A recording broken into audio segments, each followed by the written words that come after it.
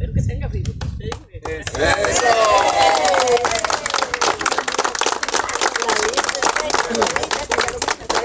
Vecinos de Santa Elena, Dinadeco y la municipalidad de Pérez Celedón cortaron la cinta para dar por inaugurado el asfaltado de 1.5 kilómetros en esa comunidad.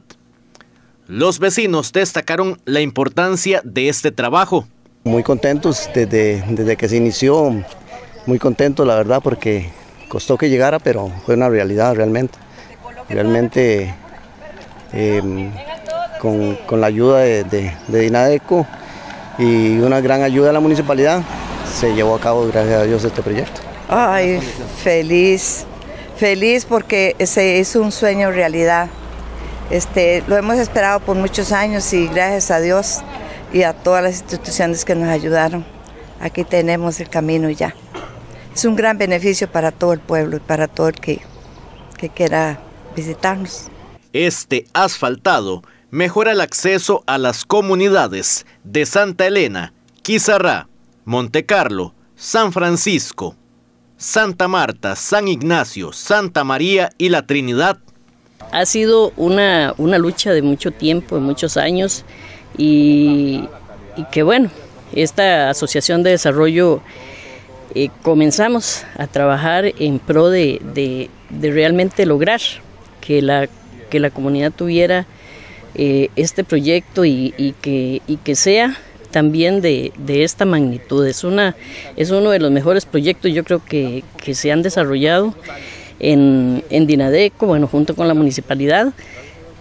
Y, y lo, más, lo más importante de esto es el desarrollo y el desarrollo, el desarrollo, desarrollo social y desarrollo también de salud para mucha población.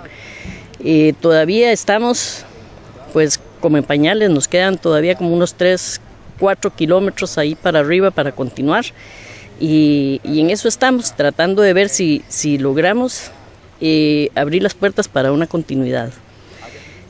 Una obra vial con un costo de 393 millones de colones, 128 aportados por Dinadeco, y 265 entre la municipalidad y la Asociación de Desarrollo Integral.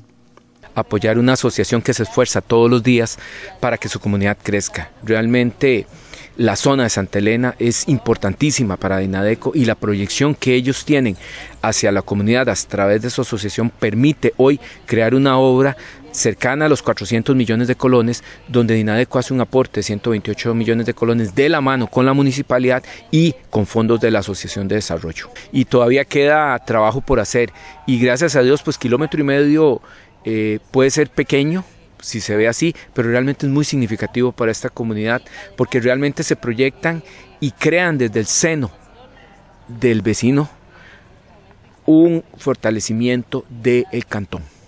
No solo muy beneficiado, es un cantón muy importante para Dinadeco, es un cantón donde tenemos grupos importantes de asociaciones de desarrollo de unión cantonal e incluso la federación, que para nosotros son muy representativos en el impacto que pueden permitir a través del uso de fondos de gobierno y a través de la labor que una organización como Dinadeco tiene que hacer en su vida diaria y lograr impactar toda una comunidad tan linda como es Pérez Celedón.